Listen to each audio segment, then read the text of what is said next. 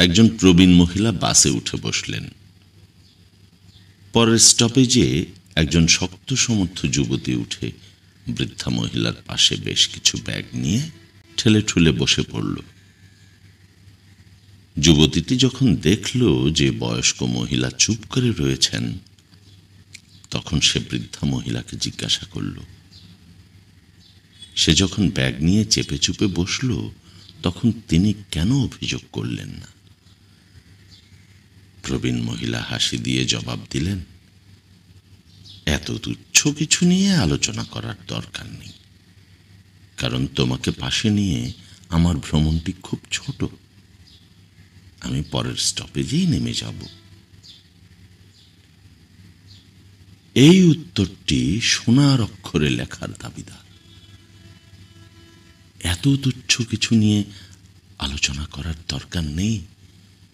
কারণ আমাদের একসাথে যাত্রা খুব ছোট।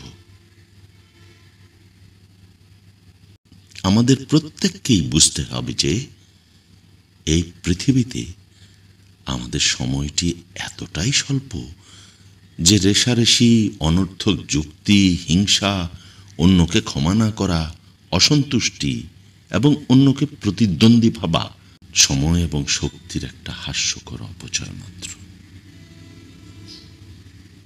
কেউ কি আপনার হৃদয় ভেঙেছে? শান্ত থাকুন। ট্রিপটি খুব ছোট। কেউ আপনার সাথে বিশ্বাসঘাতকতা করেছে, ভয় দেখিয়েছে, ঠকিয়েছে বা অপমান করেছে? আরাম করুন। ক্ষমা করে দিন, কারণ ট্রিপটি খুব ছোট। কেউ আপনাকে বিনা কারণে অপমান করেছে? শান্ত থাকুন, এড়িয়ে যান। কারণ ট্রিপটি খুব ছোট। কোনো সাক্ষাতে আপনার বন্ধু আপনি যা পছন্দ করেন না, এমন কোনো মন্তব্য করেছিলেন? শান্ত থাকুন। তাকে উপেক্ষা করুন, ক্ষমা করে দিন, কারণ ট্রিপটি খুব ছোট।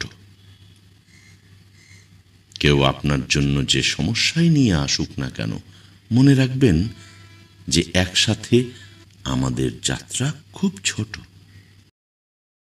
এই ভ্রমণের দৈর্ঘ্য কেউ জানে না। এটি কখন থামবে তা কেউ জানে না। আমাদের একসাথে ভ্রমণ খুব ছোট। তাই আসুন, কাউকে প্রতিদ্বন্দ্বী না ভেবে, সহযাত্রী ভেবে একে অন্যকে সহযোগিতা করি।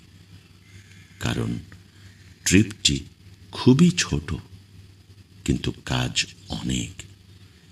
এই অল্প সময়ে অনর্থক সময় নষ্ট না করে সততার সাথে নিজেকে সফল করতে চেষ্টা করি।